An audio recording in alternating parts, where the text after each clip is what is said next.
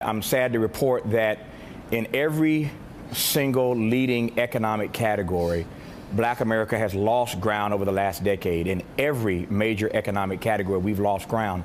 So this book comes out, as you said, in 2006. So clearly, this book was out before Obama shows up to win in 2008. So the book was never about Barack Obama then. This 10-year update is not about him now. But it is true that uh, over these last 10 years, most of that on his watch, black America has lost ground in the major economic indicator categories.